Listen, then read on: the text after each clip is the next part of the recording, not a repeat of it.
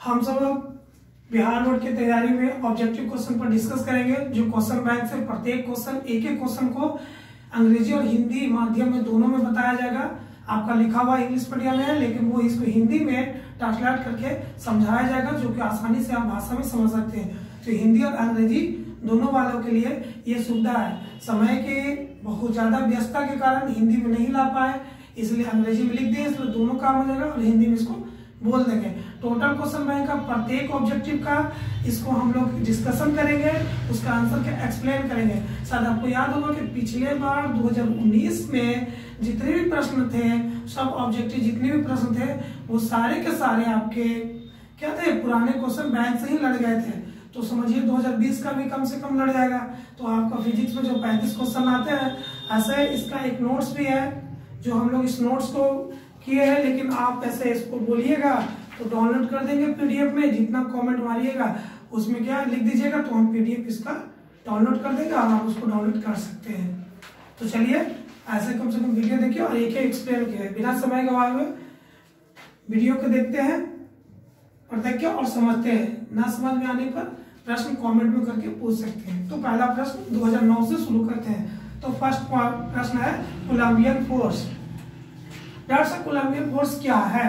तो सबसे पहले कुलम्स फोर्स तो देखिए कुलम्स फोर्स क्या पढ़ते हैं कि देर जब कोई आवेश चार्ज होता है प्लस या माइनस तो there are two charges positive and negative repulsion and attraction product of magnitude product of magnitude मतलब q1 into q2 और inversely proportional to square of distance संबंध इसको हिंदी में देखिए, समझते हैं।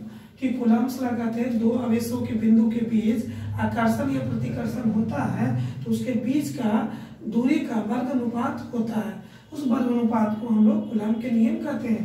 कुलम का सूत्र होता है one by four pi epsilon Q one into Q two बटा आर स्क्वायर। समझ गया one by four pi epsilon Q one into Q two बटा आर स्क्वायर। चाहे आकर्षण हो, चाहे प्रतिकर्षण हो तो वन बाई फोर पाइप्सलॉन का वैल्यू क्या होता है?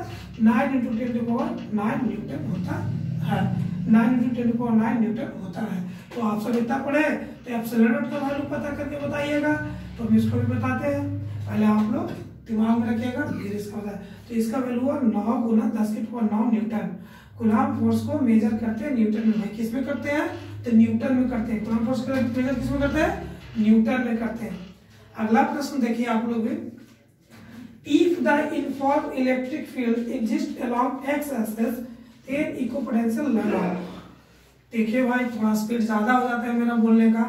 स्लो करते हैं धीरे धीरे देखिए if the uniform electric field exist along X axis then equipotential along तो क्या हुआ कि इसको हिंदी में समझिए आप सभी। यदि कोई समृद्ध इलेक्ट्रिक फ़ील्ड है, विद्युत क्षेत्रफल है तो अलोंग एक्स एक्सिस में तो उसका आंसर होगा सी वाईजेड प्लेन क्यों? क्योंकि यहाँ पर देखिए आपको रीजन बता दिए कि इलेक्ट्रिक जो फ़ील्ड होता है ऑलवेज क्या होती है? परपेंडिकुलर क्या होती है? परपेंडिकुलर क्या होती है? तो देखिए परपेंडिकुलर है तो देखिए यहाँ पर E X E Y E Z तो आपको क्या करना है? इस सेक्शन में एक्स तो बचा क्या? वाई और जेड आंसर क्या क्वेश्चन इसको भी दिया गया। आगे। रिमेम्बर करेंगे। Electric potential is scalar quantity electric potential is scalar quantity जबकि electric potential gradient is vector quantity तो आप स्केलर क्वांटिटी और वेक्टर क्वांटिटी जानते हैं, सदिश राशि, अदिश राशि, फिर भी थोड़ा सा जान लीजिए, ऐसे तो ये पूछेगा नहीं इलेक्ट्रिक स्केलर क्वांटिटी तो स्केलर क्वांटिटी में, सदिश राशि में ओनली मैग्नीट्यूड होती है। और वेक्टर क्वांटिटी में मैग्नीट्यूड प्लस डायरेक्शन होती है। Scalar only magnitude, vector direction जैसे इसका एग्जांपल याद रखिए। वेक्टर में एक्सोलेशन होती है, त्वरण वेलोसिटी होती है, वेग एक्सेप्टर डिस्प्लेसमेंट होती है। और स्केलर में क्या होती है? आपका आपका डिस्टेंस हो गया लेंथ हो गया एरिया हो गया टाइम हो गया इलेक्ट्रिक फ़ील्ड इलेक्ट्रिक करंट हो गया। तो रिमेंबर फॉर यू समझिएगा, याद रखिएगा, एक क्वेश्चन पूछ भी सकता है। लिखिएगा which is the following scalar quantity option देगा। तो याद रखिएगा वर्क एक स्केलर क्वांटिटी है। हमेशा पूछ चुका है, कई बार पूछता भी है कि वर्क के क्या है? स्केलर क्वांटिटी याद रखिएगा वर्क कौन सा क्वांटिटी है? स्केलर वर्क कार्स एक अधिस राशि है। कार्स क्या है? अधिस राशि है। अब देखिए, चलिए, इतना हो गया। सदिश किसे कहते हैं? अधिस किसे कहते हैं? एकदम डीपली पढ़ाएँगे थोड़ा सा वीडियो लंबा जा सकता है। तो जिससे समझ में आ जाए, और ये। चलिए, इसको पढ़ कहिएगा आप लोग कमेंट में मार के तो स्केलर का अलग बता देंगे वेक्टर का अलग बता देंगे एग्ज़ाम्पल ये क्वेश्चन आ भी सकता है।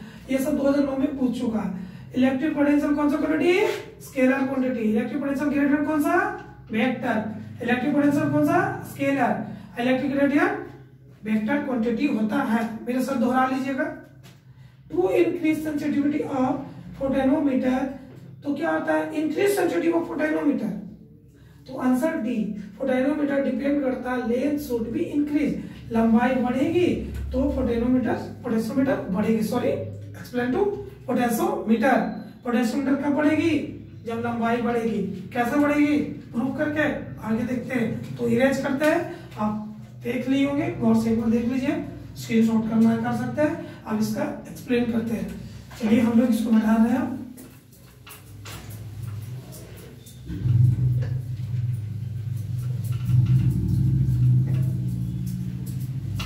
चलिए वो हम लोग थ्री का एक्सप्लेन इतना तो हो जाएगा। कैसे डिपेंड किया तो इंक्रीज सेंसिटिविटी बोलिए आप लोग इंक्रीज सेंसिटिविटी क्या होता है पढ़े सुन रहे कौन पढ़ेगा? लेंथ बोलिएगा तो याद होगा।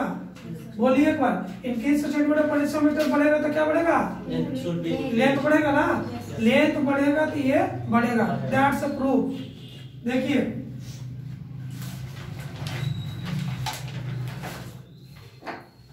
जैसा देखिए, आप पढ़े होंगे बी बराबर I into R Ohm's I equal to V upon R ये भी प्रश्न पूछ सकती है।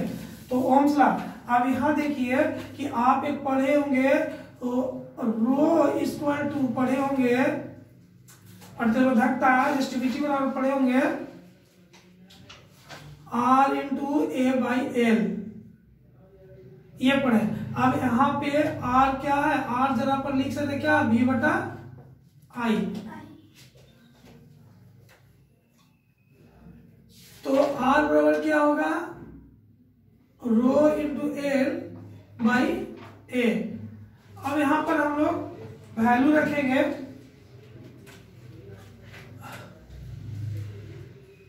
वीडियो कट करो। ओम्स लॉ में पढ़े हैं? आई बराबर बी बटा आर आई प्रोपोर्शनल टू भी चलिए ओम्स लॉ भी थोड़ा सा सीख लेते हैं। मतलब बोले ना कि एकदम एक्सप्लेन समझाएँगे आप सबको। तो ओम्स लॉ में पढ़े ना कि किसी भी वायर में इलेक्ट्रिक करंट में इलेक्ट्रिक करंट बढ़ेगा तो पोटेंशियल डिफरेंस भी बढ़ेगा। तो बी बराबर आई इंटू आर इसको इक्वेशन वन मान लो। रो बराबर पढ़ो आर इंटू ए तो आर बराबर इधर मल्टीपल हो गया तो इधर डिवाइड हो दिया आ गया। अब जब आपको इक्वेशन ई टू आ गया, अब ये इक्वेशन टू का वैल्यू इक्वेशन वन में रखो तो आर का वैल्यू रखोगे तो आपका क्या आ गया? V equal to I into rho into L बटा ए अब आई रो और ए को साइड कर दो कांस्टेंट मान लो, क्या मान लिए? कांस्टेंट तो भी बराबर क्या आ गया? प्रोपोर्शनल टू इसको कांस्टेंट के मान लो तो के इंटू एल तो भी प्रोपोर्शनल टू एल प्रूफ हो गया ना? पोटेंशियोमीटर इंक्रीज करेंगे कब? तो लेंथ क्या होगा? इंक्रीज करेगा। तो लेंथ इंक्रीज करेगा तो पोटेंशियोमीटर भी क्या करेगा? इंक्रीज करेगा। ठीक है? Yes sir circular loop will be the magnetic field at the center of circular loop will be तो देखिए मैग्नेटिक फ़ील्ड को बी से डिनोट करते हैं। आप पढ़े होंगे। इलेक्ट्रिक मैग्नेटिक फ़ील्ड को B से। मैग्नेटिक फ़ील्ड का एस हम लोग पढ़े थे टेस्ला। अब क्या है कि सर्कुलर रूप में तो तीन तरह के मैग्नेटिक फ़ील्ड हम क्लास में बताए थे आप सबको कि पहला लीनियर में दूसरा सर्कुलर में बताए थे ना? यस सर तो आपको पूछ रहा है फॉर्मूला किसमें सर्कुलर किसमें पूछ रहा है? किसमें पूछ रहा है? हाँ सर्कुलर का सीधे आंसर लिख दीजिए। बी क्या हो गया? Two B three by two minute under root pi ये आपको फॉर्मूला है। कोई एक्सप्लेन करने की ज़रूरत नहीं। लॉन्ग क्वेश्चन होगा। लॉन्ग क्वेश्चन भी अंतिम वीडियो में अगर आप लोग कमेंट में करिएगा तो वीवीआई क्वेश्चन लगा देंगे। आठ से दस में तो दो चार लड़ ही जाएगा, तीन तो लिखना ही है। अब सुनिए, इससे क्या होगा? आपका objective plus short question answer आपका कंप्लीट हो जाएगा। बस लगातार कंटिन्यू वीडियो देखते रहे। If L be the inductance induction को डिनोट करते हैं एल से। इंडक्शन को डिनोट करते हैं एल से। रेजिस्टेंस को आर से कैपेसिटर को? सी से तो कैपेसिटर के मतलब इंडक्शन आप लोग पढ़े हैं रेजिस्टेंस तो आप लोग जान ही रहे कि रेजिस्टेंस का यूनिट होता है। ओम क्या होता है कैपेसिटर कैपेसिटर क्या है? याद रखिएगा पूछेगा ये दो नंबर में। What do mean capacitor capacitor या स्टोर ऑफ़ एनर्जी एनर्जी को जो स्टोर करता है उसे कैपेसिटर कहते हैं। जो एनर्जी को स्टोर करता है उसे क्या कहते हैं? कैपेसिटर कहते हैं। सी से डिनोट करते हैं। यस सर एनर्जी को जो ऑब्ज़र्व करे, उसे क्या कहते हैं? कैपेसिटर अब इसका कह रहा है कि ये दिया हुआ है तो एल अपॉन आर मतलब एल बटा आर और आर बटा सी हिंदी में सुनिए कि जब इंडक्टर एल है, प्रतिरोध आर है और संधारित इसको बोलते हैं, संधारित संधारित। इंग्लिश में कैपेसिटर सी तो फार्मूला निकालिए, इतना बटा का अनुपात करिए, इतना सॉरी या आर इंटू सी है क्वेश्चन में। दो हज़ार नौ का क्वेश्चन नंबर फाइव ऑब्जेक्टिव का आर इंटू सी है। अब देखिए कि इसका आंसर क्या हुआ? डी हुआ। एक्सप्लेन करते हैं डी क्यों हुआ और कैसे हुआ। तो क्या ये ज़रूरी नहीं कि ऐसे ही क्वेश्चन पूछे? आपको इसमें पूछ देगा तो देखिए डी क्यों हुआ? हम समझा रहे हैं बढ़िया से ध्यान रखिए। Dimension formula of self induction क्या हुआ? दोहराइएगा। M L two T minus two A minus two M L two T minus two A minus two इसका सेल्फ इंडक्शन रेजिस्टेंस का सुनिएगा खाली M L two T minus three A minus two T minus three A minus three capacitor का M one L one two T four two तो आप इसे remember कहीं खुदा ने खास्ते अगला बार में पूछ दे कि which is the following of S dimension formula self induction तो ऑप्शन दे रहेगा तो ठीक लगेगा। इसलिए ये रिमेम्बर कर लीजिएगा आप लोग। बहुत अच्छा रहेगा। अब देखिए कि हमने इसका आंसर क्यों ऐसे लाया। एल अपन साथ एल का वैल्यू रख दिए। आर का वैल्यू रखे। एम एम से कैंसिल ए से कैंसिल ए से टी बचा। तो M zero L zero T T हो गया। एक हुआ, एक मिल रहा है। ठीक है, मिल रहा है। दूसरा देखिए आर इंटू सी इधर प्लस माइनस और मल्टीपल में पढ़े तो एम एम से कट गया एल एल से कट गया ए से कट गया इधर थ्री है इधर फोर है तो टी बच गया। तो देखिए आपका आंसर आ गया ना? आंसर क्या होगा? डी तो इस तरह के क्वेश्चन दो हज़ार नौ में पूछा है लेकिन ज़रूरी नहीं है कि ये पूरा ही प्रश्न ऐसा ही पूछे। कभी कभी आपको ऐसे भी पूछ सकता है कि डायमेंशन फार्मूला ऑफ़ रेजिस्टेंस तो एक बार बोल लीजिए दोहरा के M L two T minus three A minus two M L two T minus three A minus two ऐसा पूछ सकता है। अगला प्रश्न की ओर चलते हैं। In tan A and tan B, position of magnet, magnetic field, magnet, magnetic field, distance D are represent B1 and B2 Hindi में सुनिए। Tan A और tan B है, जिसके मैग्नेटिक मतलब चुंबकीय क्षेत्रफल है, जिसकी दूरी रिप्रेजेंट करता है B1 और B2 तो फार्मूला में कौन होगा? तो ये फॉर्मूला है, याद रखिएगा। हम लोग मैग्नेटिक में पढ़े थे तीन तरह के लीनियर में सर्कुलर में, वही उसका जैसे अभी सर्कुलर का पूछा, उसे, बस क्या क्या बी वन और बी टू से रिप्रेजेंट करे थे इसका आंसर ये होगा, क्या होगा B one equal to mu naught four pi mu naught four pi two M into D D minus L square log question में प्रूव कर दी बहुत ज़्यादा समय लेगा प्रूव करने में, इसलिए हम इसको नहीं बताया आप लोग तो पढ़ के होंगे। म्यूनेट का वैल्यू होता है four pi into ten to power minus seven tesla. Minute का वैल्यू होता है फोर पॉइंट कभी कभी एग्ज़ाम में पूछ देगा मिनट बाई फोर पाई। आ जाएगा टेन टू माइनस सेवन पूछ सक, पूछा ही है। तो ये सारे जो प्रश्न है, दो हज़ार नौ को पूछे। अगर आपको वीडियो में सिर्फ़ हिंदी माध्यम से चाहते हैं, हिंदी मीडियम से तो आप कमेंट बॉक्स में लिख सकते हैं कि हाँ टोटल हिंदी में प्रश्न के साथ उत्तर दीजिए तो हम आपको हिंदी में बना देंगे। ठीक है, अगर वीडियो अच्छा लगता है तो लाइक सब्सक्राइब बेल आइकन दबा दीजिए। धन्यवाद शेयर करिए दोस्तों में।